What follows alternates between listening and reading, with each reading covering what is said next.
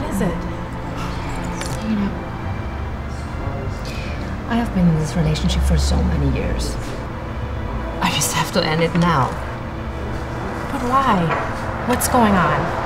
You know, I've given and given and given and got nothing back but pain.